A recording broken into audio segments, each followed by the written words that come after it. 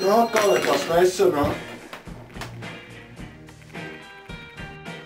Ja jums ir apnicis, ka jums mājās nekas nesanāk, nevarat neko pagatavot, uztaisīt, tad griezieties pie mums, jo mums ir specializēti meistari un viss nepieciešamie rīki. Ja jums ir apnicis, ka jūs nipelīši izstās šādi vai šādi,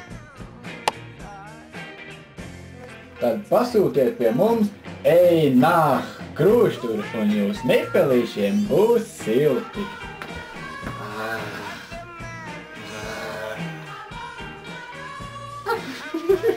ir pieejami dažādi izmēri, lieliem un maziem nipelīšiem. Tas ir ērti velkājams, un jūsu nipelīšiem vienmēr būs silti.